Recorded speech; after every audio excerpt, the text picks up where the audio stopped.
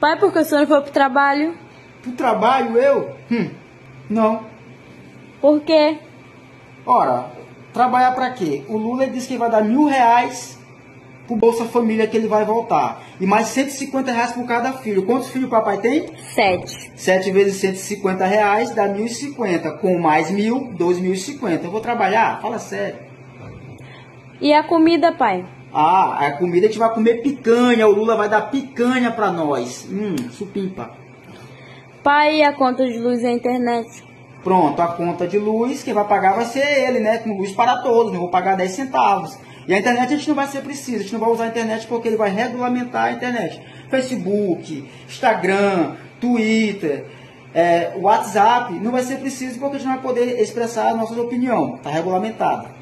E o terreno que o senhor disse que ia comprar? Ah, comprar terreno no tempo do Lula, eu vou é invadir, sei lá, alguma fazenda de alguém, algum sítio e pronto. Aí eu parto com vocês.